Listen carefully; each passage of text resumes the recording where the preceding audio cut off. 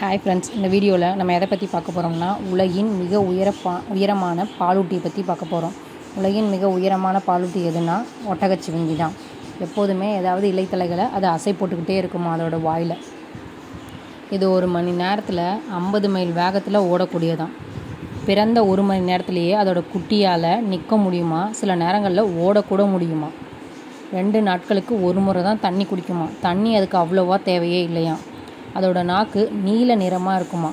அதோட நாக்கோட நீளம் மட்டும் பார்த்துக்கிட்டிங்கன்னா இருபது அங்குலம் இருக்குமா? ஒரு நாளைக்கு அறுபத்தஞ்சு கிலோ உணவை ஒரு நாளைக்கு மட்டும் சாப்பிடுமா? இலைகளை அசை போட்டு கொண்டே ஏதாவது இலைகளை சாப்பிட்டுக்கிட்டே இருக்குமா? வாய் மட்டும் அசை போட்டுக்கிட்டே இருக்கும் அப்படின்னு சொல்லுவாங்க இதுக்கு. இதோட இதயம் பதினோரு கிலோ இருக்குமா? இதோட ஆயுட்காலம் இருபத்தஞ்சிலேருந்து இருபத்தி ஆறு ஆண்டுகள் வரைக்கும் உயிர் வாழும் அப்படின்னு சொல்கிறாங்க ஜூன் இருபத்தி ஒன்று உலக ஒட்டகச்சிவிங்கி தினமாக கொண்டாடப்படுறாங்க.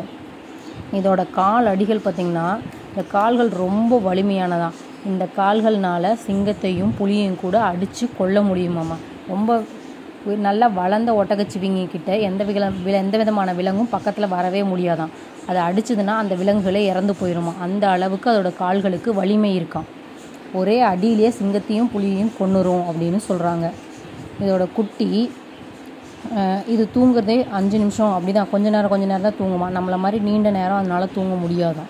அதோட கழுத்து மட்டும் ஒன்று புள்ளி எட்டு மீட்டர் நீளம் இருக்குமா? அதோட உடல் முழுசும் திட்டுக்கள் இருக்கும். அந்த திட்டுக்கள்லாம் எப்படி இருக்கும்னா நம்மளோட கை ரேகையை பொறுத்து தான் கை ரேகை எப்படி இருக்கும்? அதே மாதிரி தான் அதோட திட்டுக்கள் இருக்குமாமா?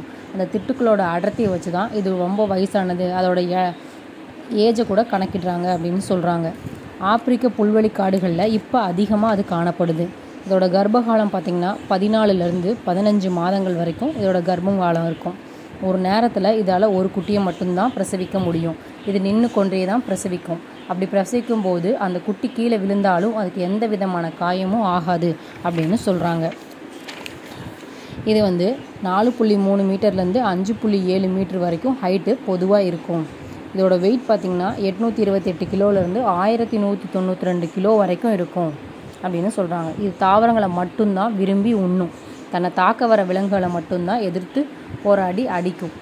ஆனால் சின்ன சின்ன அதோட சின்ன குட்டிகள் வந்து ரெண்டு வயசு மூணு வயசு குட்டிகள்லாம் சிங்கத்தாலையும் புலியாலையும் அந்த கழுதை புலிகள்னாலையும் கொல்லப்படும். இருபத்தஞ்சிலேருந்து ஐம்பது சதவீத குட்டிகள் மட்டும்தான் தப்பிச்சு உயிர் பிழைச்சி வாழும் அப்படின்னு சொல்கிறாங்க இதில் வந்து மொத்தம் நாலு வகை இருக்குது வடக்கு ஒட்டகச்சிவிங்கி தெற்கு ஒட்டகச்சிவிங்கி மாசாய் ஒட்டகச்சிவிங்கி ரெட்டிகுலேட் ஒட்டகச்சிவிங்கி அப்படின்னு இதில் பொதுவாக நாலு வகைகள் சொல்கிறாங்க இது ஏழுலேருந்து எட்டு வயசு வரைக்கும் இதோட எடை உடம்புல அதிகமாயிட்டே இருக்கும்.